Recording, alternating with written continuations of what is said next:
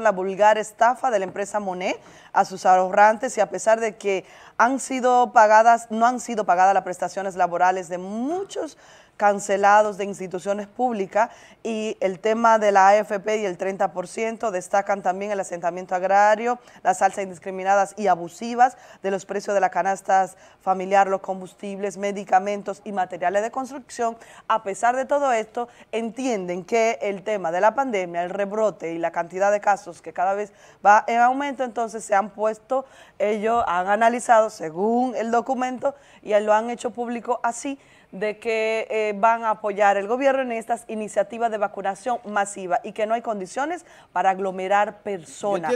Tenían pautado una, una caminata, marcha, el día 9, o sea, pasado mañana, ha sido suspendida, pospuesta para otra ocasión. También levantaron el paro del 29 y 30 de junio que era una huelga, una manifestación, también la dejaron sin efecto hasta próximo aviso por el tema de la pandemia. Esa es la justificación. Sin embargo, reconocen que todas las necesidades están ahí y que el gobierno no está dando la cara, pero lo eh, apoyan eh, en la jornada masiva ellos de vacunación. hacer la actividad el 29 y el 30, pero yéndose a vacunar a, un punto de vacunación a todos los miembros del Frente Amplio Popular del Falpo. Atención, Raúl Deben estar vacunados la mayoría. ¿eh? Deben estar vacunados la mayoría, porque son gente pensante, ¿no? ¿No supone? Sí. Eh, los, dirigentes son mis amigos todos y son pensantes. ellos se han vacunado, ahora no sé los otros. ¿Ellos se han vacunado? Eh, sí, claro que sí. Pero el agua comenzó el año pasado a vacunar. Sí, pero recuérdate que hay otros que no son del UAS. Bueno, pero aquí hay como 5 o 7 centros de vacunación. Ojalá que nos manden la foto de cuando se vacunan. Hay como 7 centros de vacunación. bueno, el otro colectivo que tú destacas de otros movimientos campesinos, ese sí no ha dicho, dijo el sábado. Espérate, espérate, Raquel. Póngame la imagen, señor director, para que, tú escuches lo que yo dije. Vamos a ver, señor director, porque esto está dividido, esto está bueno. Dele ahí, señor director. ¿Qué dice el colectivo? Ey, vamos a ver si le llega. Ah, escuchemos, escuchemos. Yo mandé un video. En un pleno de dirigente realizado en el día de ayer domingo, decidimos ratificar el llamado a huelga para los días 14 y 15 de este mes. Esta huelga es hoy mucho más justificada que cuando decidimos convocarla. Y tiene su justificación en que este gobierno, lejos de dar respuesta a los problemas del pueblo, lo que hace cada día es aceptar nuevos golpes contra este mismo pueblo. El aumento de los materiales de construcción, la burla de los diputados de distribuirse más de 56 millones el Día de la Madre, el alza de los combustibles y de todos los artículos de primera necesidad, y el hecho de que las autoridades andan haciendo poses, llevando aparatos a un lugar y tirándose fotos para luego llevárselo, es una burla y una provocación. Por lo tanto, como preludio de la huelga de los días 14 y 15, mañana martes, este colectivo está llamando a una jornada de movilización aquí en San Francisco de Macorís como impulso y calentamiento para esa huelga. ¿Cuáles son los sectores que estarían apoyando el, movimiento huelgario? Este colectivo tiene cinco bloques y esos cinco bloques que comprenden toda la ciudad estarán movilizados. Pero hay algo que queremos además puntualizar. Hace unos días que fue asesinado un dirigente, vicepresidente exactamente, de la Junta de Vecinos Mamá Tingó, organización de base de este colectivo, por un grupo de delincuentes y queremos denunciar la actitud que ha asumido la policía y la fiscalía, que han asumido una actitud prácticamente indiferente frente a este hecho. Hace tiempo venimos denunciando que la policía aquí está coludida con la delincuencia. Bueno, Raquel, Ahí está, ellos dicen, dicen, dicen, representar cinco la competencia es buena. Pero lógico. Sí, competencia la gente del. Motiva, motiva, motiva mucho. Eh, ellos entonces mantienen el llamado 14 y 15. Los que han levantado ha sido el Falpo y los grupos asociados a ellos. Pero el Falpo era 29 populares. 29, pero tenían una el 9, una marcha Son como especie de calentamiento con eh, diferentes temas. Eh, entonces, eso ha sido pospuesto. La marcha del 9 y la manifestación del 29 y 30. Este grupo que ustedes acaban de ver mantiene el llamado. Entonces, ellos debieran como que ubicarse también. Si el Falpo ha, desistido ¿no? y ha dejado abierta la posibilidad para más adelante por el tema de la pandemia y para ayudar al gobierno de alguna manera para que la, masiva, la vacunación masiva se, pueda seguir produciendo. Entonces, creo que ellos deben ser conscientes también porque las necesidades están ahí y tienen más de 40 años y creo que un día, dos días, un mes, el gobierno no lo va a resolver. Eso es así. Entonces la hay que entender qué es prioridad. Hoy día prioridad es la vacunación, sin dejar de ver otras problemáticas que nos siguen lo que pasa, yo lo entiendo a ellos, de verdad, que lo entiendo. Ahora, ellos quieren crear un nombre, quizás. sí, porque... ¿Cómo que se llama ese hombre? Movimiento de Lucha Popular. No, no, el, vocero. Sí, pero olvídate del Movimiento de Lucha Popular. Bueno, porque los otros todo el mundo lo conoce.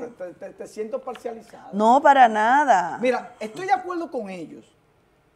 Ahora, lo que voy a ver es el método que van a utilizar para esa huelga. Porque siempre lo he dicho, ni al Movimiento de Lucha Popular, ni al FAPO, ni a nadie estoy de acuerdo con la quema de neumáticos, con el tema de desorden público, con eh, eh, el terrorismo a los negocios para que cierren. Exacto. Con eso yo no eso, yo tampoco. Ese movimiento de ellos ir al palacio, de salir en marcha, amén. Y dirían, conchole Roberto, pero estamos en medio de, un rebrote. Sí, pero vean qué pasa. El rebrote ha sido y fue, porque creo que en esta semana debe de bajar el tema de las cifras. Ya tenemos el boletín por ahí. Deben de bajar el rebote fue por, por irresponsabilidad de este gobierno.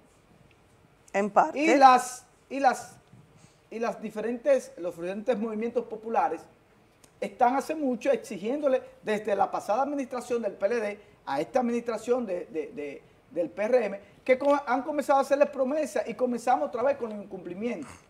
Entonces creo que las luchas populares son todas positivas. Lo que es el método que se utilice y le hago un llamado a este movimiento, que es competencia ahora del Falpo, sin competencia, que lo hagan diferente. Pero si me vienen con el show de, de, comenzar a hacer actos terroristas, a tirarle piedra a los negocios y bombas caseras, a quemar neumáticos, a tirar desperdicio en las calles, no tiene que va en detrimento de nosotros mismos, los ciudadanos, ahí mimito se guayaron. No tiene sentido. Hagan algo diferente, innovador y creativo, ¿eh? Para el 14 y el 15. Si quieren llamar a la atención y quieren, quieren que la gente posicionarse en la opinión pública, sobre todo, y hacer algo por su pueblo. Si vienen con el mismo relajito, pueden recoger y irse por ahí. Así es. Yo quiero que veamos la imagen número 12 de un hijo de San Francisco de Macorís, cambiando radicalmente de tema. Vamos a ver a Leandro Guzmán, que ha muerto, ha fallecido, un gran, ilustre, trabajador... In eh, recordable por toda la historia, sobre todo por el aporte que hizo a la libertad, a la democracia de nuestro país. Estuvo casado con María Teresa Mirabal, una de las tres heroínas.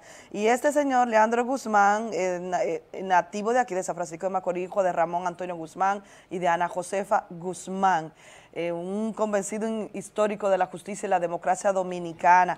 También que tanto a él como Manolo Tavares y todo lo demás fue parte del movimiento 14 de junio, correctamente, 14 de junio. Entonces falleció. Así que en paz descanse nuestra solidaridad con toda la familia, eh, y, la propia República Dominicana. Se ha hablado muy poco de él y sobre todo porque de los grandes hombres que mueren se olvidan de una vez, lamentablemente no se mantiene viva esa memoria ahorita, ahorita quieren hacerle reconocimiento, estatua, quieren hacerle de todo, homenaje. Señores, vamos a hacerlo en vida. Lo mismo que me escribe un, televidente, y, guardando la distancia, pero, eh, por ejemplo, también de, la provincia de Duarte, San Francisco de Macorís, María Cristina Camilo, 101, 103, no, 103 años. 103 años. 106 tiene esa La primera locutora de República Dominicana. Claro. Y todavía, mira, con una lucidez. O sea, un ícono de la, comunicación de la República Dominicana. Y señores. Van a esperar que se muera para un eh, eh, reconocimiento. ahí se como yo lo moco, el exalcalde hace días, teniendo mucho que no lo mencionábamos, hizo un mural en la entrada de San Francisco de Macorís y puso a don Porfirio Rubirosa como, como orgullo de ese pueblo tan trabajador, de gente sana. El sex símbolo de aquí. Sí, un ratrero. Porfirio Rubirosa fue un ratrero. Para mí no es un ejemplo, Porfirio Rubirosa. Ah, que tomaron a Porfirio Rubirosa para hacer la serie de James Bond. Claro, Porfirio Rubirosa lo que fue un vividor, un haragán, un estafador. A mí no me representa. Yo no lo digo con orgullo. Y que hay la tierra de Porfirio Rubirosa. Gran vaina, Porfirio Rubirosa.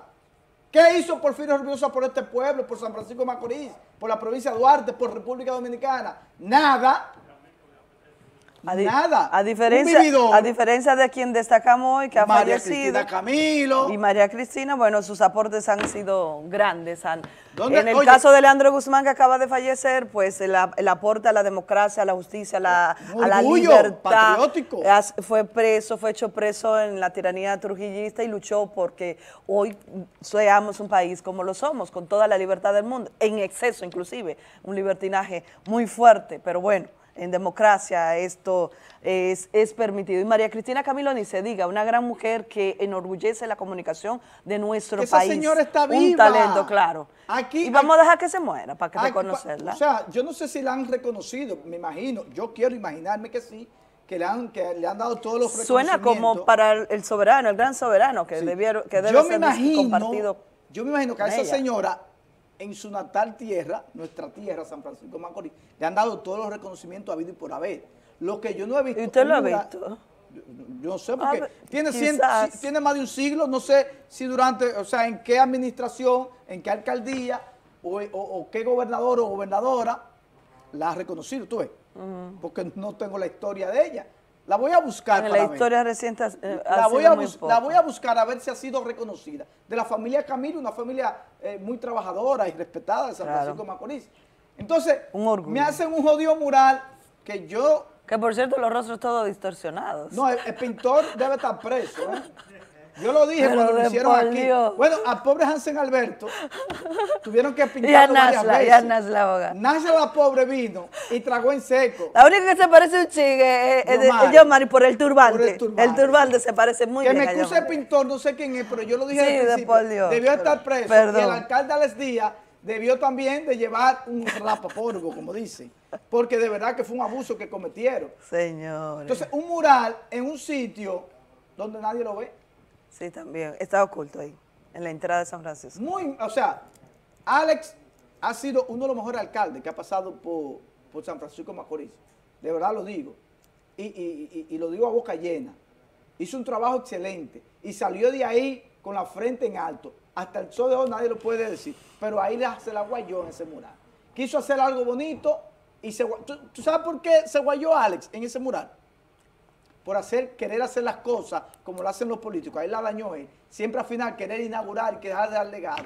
Y lo dejó para la última hora. Y oye, y en medio de la pandemia, tú veías el pobre Alex, él mismo, los domingos, dirigiendo la obra para entregarla antes de salir de su alcaldía. Y, yo lo recuerdo. y por eso le quedó mal. Ese mural, es más, yo estoy hablando de ese mural y hay gente de San Francisco de Macorís que no saben de qué mural yo estoy hablando claro que no. y dónde queda ese mural. Sí, lo ubicamos muy bien, le hacemos menciones a centros comerciales por ahí, a negocios. Ni así, porque ese centro comercial está quebrado. Y ni así. Y ni así. Pero es la entrada donde está el símbolo SFM. Vamos, nadie lo sabe, ese símbolo la gente de San Francisco para acá. Y difícil pararse ahí, veo de vez en cuando gente haciéndose fotos. Tú vas a otro pueblo y eso, y eso Está estratégico donde la gente se pueda parquear y, hacerse la foto. Pero ahí la gente pasa, los que no son de, de, de San Francisco de Macorís, y ni saben qué es